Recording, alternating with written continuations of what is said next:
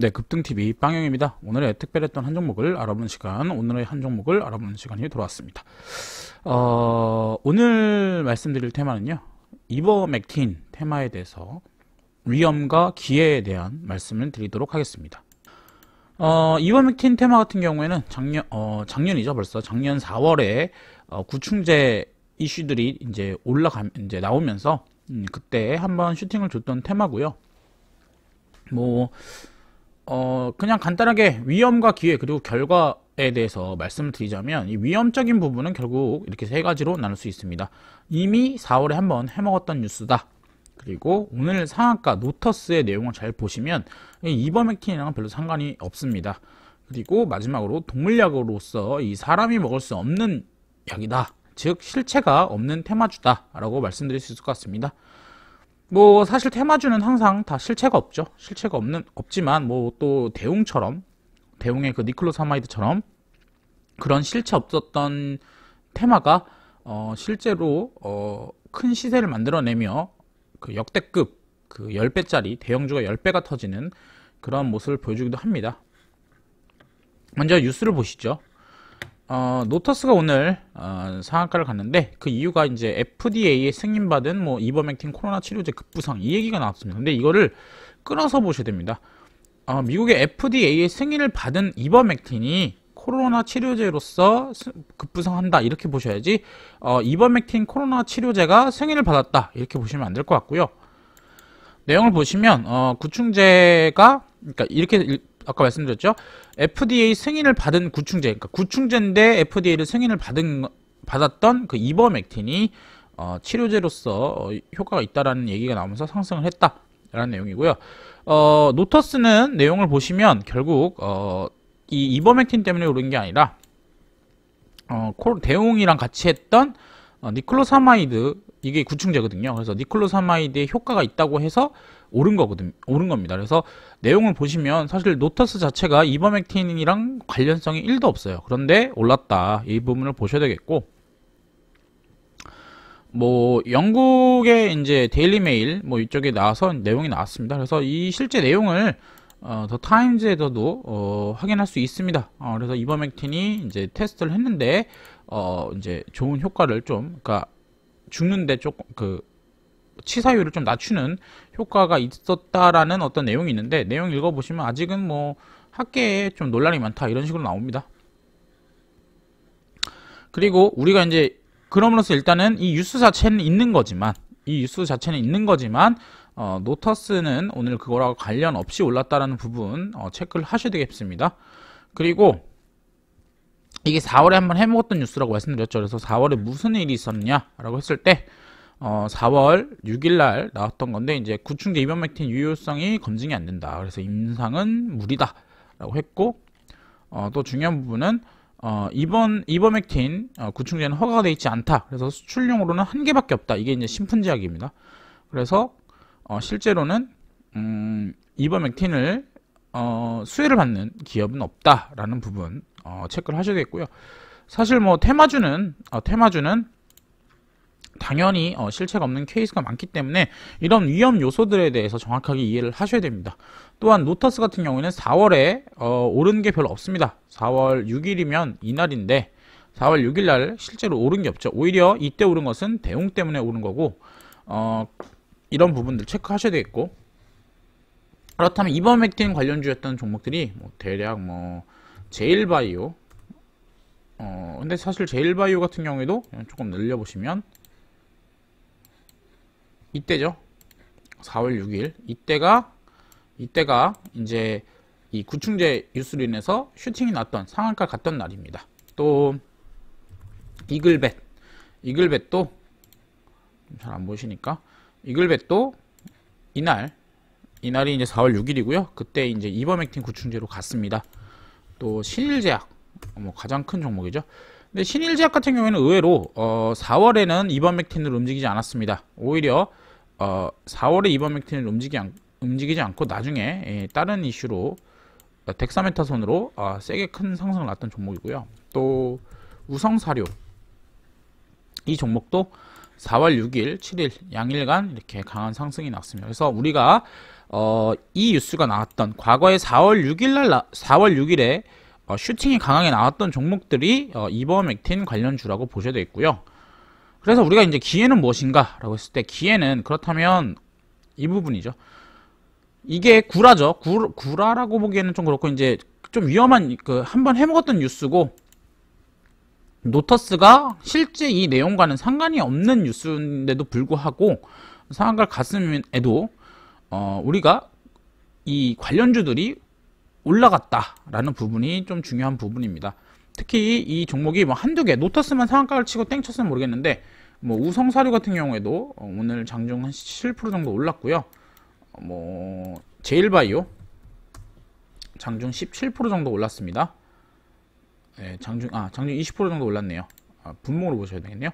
장중 20% 정도 올랐고요. 이글벳 이것도 올랐고 체시스 체시스도 관련주거든요. 그래서 이 종목도 장중에 거의 상한가 직전까지 갔던 종목입니다. 그래서 우리가 이제 이것을 보셔야 될 것은 이 테마군 그때 올랐던 얘도 4월 6일 날 이렇게 올랐었던 모습을 보여주고 있죠. 그래서 그때 올랐던 종목들이 테마군으로 일단 한번 움직였다는 종, 부분에서 일단은 체크를 하셔야 되겠고 이 종목들이 아시다시피 현재 이 지수를 보시면 지수를 보시면 이 4월 이후에 얼마나 많이 올랐습니까? 이렇게 지수가 이렇게 많이 올랐는데도 불구하고 이 관련주들 뭐 체시스야 어, 대주주 매도가 있었기 때문에 좀 그렇다 쳐도 뭐 이글벳 이런 것도 사실 이때에 비해서 그렇게 많이 상승을 하지 않았고요. 제일바이오 같은 경우에도 이 이후로 별로 상승이 없었죠. 그리고 뭐 우성사료도 똑같이 이 이후에 별로 상승이 없는 상태였기 없는 상태였는데 오늘 올랐다는 부분 그리고 별다른 그 4월 이후에 상승이 없는 상태에서 어 거의 한 8개월 동안 조정을 보였죠. 그래서 이렇게 조정을 길게 한다면 어 어떻게 되겠습니까? 이렇게 장이 겁나게 오르는 상황에서 내 종목이 뭐 내 종목이 우성사료나 제일바이오 같은 거 들고 계신 분들 보세요. 거의 8개월 동안 아무런 움직임이 없었습니다. 아무런 움직임이 없는 상태에서 어, 어떻게 하겠습니까?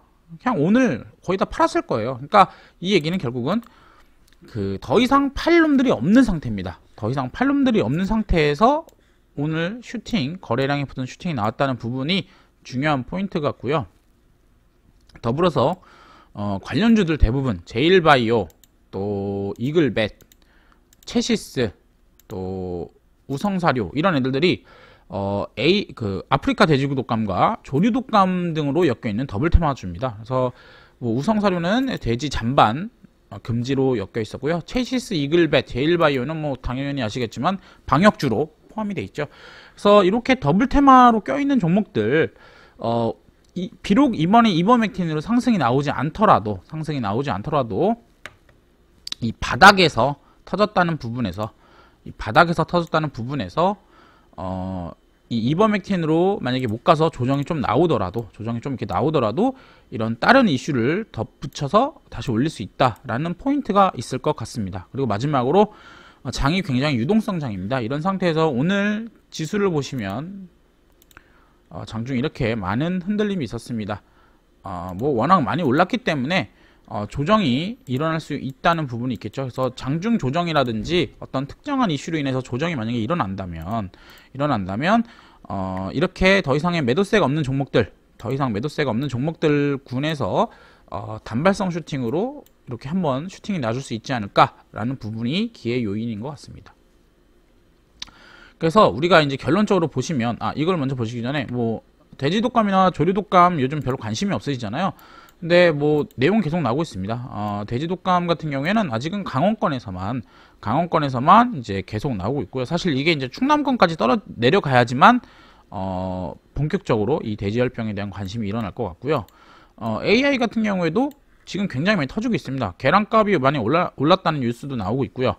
어, 계속 AI, 어, 그 조류독감 뉴스는 나오고 있는 상태인데, 다만 이 시장이 이런 뉴스에 대해서 별로 반응을 하지 않을 만큼, 어, 뭐랄까, 좀 더 그 탄탄한 종목들 위주로 움직이고 있다는 게 이제 이런 종목들이 안 가는 이유겠고요. 그래서 결론은 무엇이냐? 어, 결론 같은 경우에는 어, 확실한 위험 요소와 막연한 기회 요소가 있습니다. 어, 즉 어, 장기로는 당연히 못 가져갑니다. 그리고 단기적으로도 단타 측면으로 봐야 됩니다. 어, 다만 우리가 이걸 8개월 만에 나온 뉴스지 않습니까? 어, 8개월 동안에 이 조정, 이 기나긴 조정 동안 어, 이 종목에 남아있는 사람들이 별로 없을 거고요. 어, 그리고 이 종목들이 시장 상승 대비 소해주지 않습니까? 그렇기 때문에 뭔가 지수, 지수 조정이라든지 아니면은 뭐 빈집 수급, 그러니까 이게 오늘 슈팅 나온 것도 더 이상 팔로이 없는 상태에서 그냥 별 뉴스도 아닌 것이, 그러니까 큰 뉴스가 아니지만 굉장히 자극을 받으면서 오른 거거든요. 그래서 이런 이 빈집 수급을 확인한 뭐 특정 세력들이나 또는 어, 추가적인 뉴스가 이, 뉴스로 인해서 추가 상승이 나올 수 있는 부분이 있기 때문에 우리가 장기로는 못 가져가지만 단타적으로는 봐야 되겠고요. 어, 이거 급등주 패턴으로 봤을 때 지금 사실 이 종목들은 8개월 동안 조정을 받으면서 어, 제일바이오 같은 경우에도 그렇고 체시스 같은 경우에도 얘는 약간 역별이네요. 이, 이, 이평선을 보십시오. 이평선을 보시면 우성사료 같은 경우에도 지금 이평선 매집이, 매집이라고 보기에는 이평선 수렴이 된 상태고 또 어, 이글백 같은 경우에도 이평선이 뭐 그렇게 나쁘지 않은 상태입니다. 이런 상태이기 때문에 어, 아무래도 이 급등주 패턴이 나올 때 우리는 5일선 매매가 유효하지 않을까 싶습니다. 5일선 매매란 건 무엇이냐면 이렇게 이글벳을 확대했을 때 지금 보시면 보시면 이렇게 5일선을 타고 가지 않습니까? 그래서 이런 5일선을 깨지 않는다면 그냥 홀딩하는 전략입니다. 뭐 아주 간단한 전략이고요. 제가 몇 번이나 말씀드렸던 전략입니다. 뭐 우성사료 같은 경우에도 이 5일선 타고 오늘 올랐는데 만약에 내일 이 종목이 급격하게 떨어진다 라고 했을 때 우리가 5일선 구간이 어디겠습니까? 5일선 분이 보통 이런 자리겠죠? 이런 자리에서 우리가 뭐 한번 추가적인 매수를 해보고 만약에 이 종목이 이 자리를 깬다 라고 하면 그냥 손절을 치고 또 뭐 제일바이오 제일바이오 같은 경우에도 제일바이오 같은 경우도 5일선 이렇게 5일선을 이렇게 타고 가는 모습을 보이지 않습니까? 이렇게 했기 때문에 이 종목도 만약에 내일 5일선이 이렇게 아마 올라올 텐데 그렇다면은 이 5일선을 지켜준다면 지켜준다면 뭐 이렇게 지켜준다면 여기서 매매 타점이 한번 나오지 않을까 또이 5일선을 지켜주지 못하고 그냥 강한 음봉으로 빠져버린다면 그렇다면 뭐 손절을 하셔야 되는 그런 방식으로 하시면 조금 어 매매하기 쉽지 않을까라고 어 결론 지을 수 있을 것 같습니다. 사실 지금 이런 종목 아니더라도 굉장히 좋은 종목들이 많긴 하지만 또 시장에 이슈가 있는 종목이죠. 그래서 시장에 이슈가 있고 어, 또 이 어떤 테마군으로서 움직인 것을 확인했을 때 우리가 이 종목들에 대해서는 조금 보셔야 된다라고 말씀드릴 수 있을 것 같습니다. 그래서 오늘 간단하게 이범 액팅 관련주 어, 위험과 기회에 대해서 말씀을 드려봤고요.